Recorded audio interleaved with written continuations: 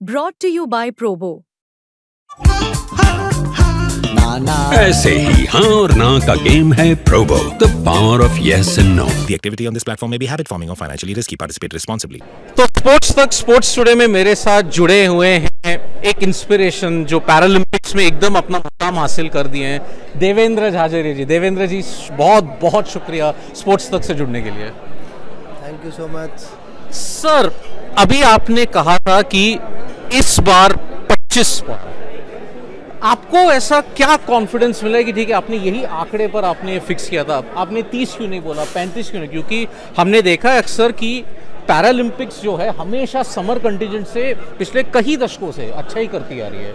तो आपने 19 से लेके 25 छः मेडल का इंक्रीज क्यों, ज़्यादा क्यों नहीं बोला आपने? देखिए, मैं कहना चाहूँगा कि हमने जो ग्रास रूट पे मेहनत की है, हमारे खिलाड़ियों की जो रैंकिंग है एज ए खिलाड़ी होने के नाते जो तीन पैरालंपिक मेडल जीते तो अनुभव तो बोल रहा है। जी। तो मैंने ये बोला है कि 25 से ज़्यादा जीतेंगे। तो 25 से ज़्यादा वो 30 भी हो सकते हैं वो 35 भी हो सकते हैं वो 28 भी हो सकते हैं। तो मैं कहना चाहूँगा और टॉप ट्वेंटी कंट्रियों में आना है हमें। बिल्कुल। तो उसमें भी रहेंगे हम।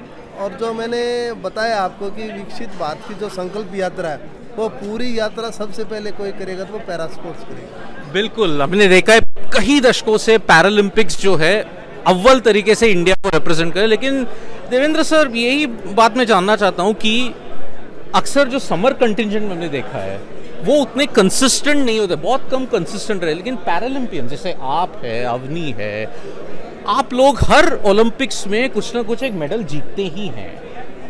आप क्या एक मैसेज दो कि आपके कंसिस्टेंसी का क्या राज है? मैंने लाइफ में खेल के अलावा ज़्यादा कुछ नहीं जाना। मैं ट्रेनिंग करने के बाद में मुझे सिर्फ़ जेवलिन नज़र आता है, आता था। तो मैं इतना कहना चाहता हूँ, खिलाड़ियों की कंसिस्टेंटी बनाएँ अपनी focus on training focus on game आप सबसे ज़्यादा फोकस करोगे तब आपकी परफॉर्मेंस निकलेगी। आप जुनून इतना पालिए कि आपको सिर्फ़ अपना गेम ही नज़र आए। बिल्कुल बिल्कुल। तो आखिरी सवाल है देवेंद्र सर देवेंद्र सर को बहुत से जगहों पे जाना है, प्लस खाना भी खाना है। थैंक यू आपने बीच में आके बात किया हमसे। तो सर प्रेशर जो था, हमने देखा पेरिस ओलंपिक्स में छः फोर्थ प्लेस फिनिश था। इसका ये मतलब कहीं ना कहीं एक परसेंट वो प्रेशर से चूक गए थे। लेकिन पैरालंपियंस में ये बात नहीं आती है। आप लोग कैसे प्रेशर को मेंटेन करते हो और ये राज, पूरे भारतवर्ष में क्या बताना चाहते हो? व्हाट इज़ द सीक्रेट कि पैरालंपियंस इतना बेहतरीन प्रेशर हैंडल करते हैं?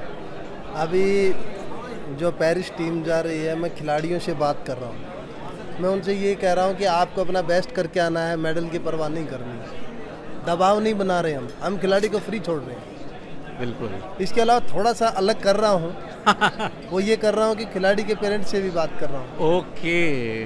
कि आप इन पे दबाव ना बनाएँ इनको आप ये कहो कि आपको अच्छा खेल के आना आप ट्रेनिंग में कर रहे हो वैसे करना है आपको। बिल्कुल। तो हम प्रेशर कम कर देते हैं। बिल्कुल। तो आई होप इंडिया ये बात सुने क्योंकि एक इंस्पिरेशन बता रहे हैं कि यार ज़्यादा दबाव मत डालो, तभी मेडल आएँगे। So Devendra sir thank you so much आपके टाइम के लिए।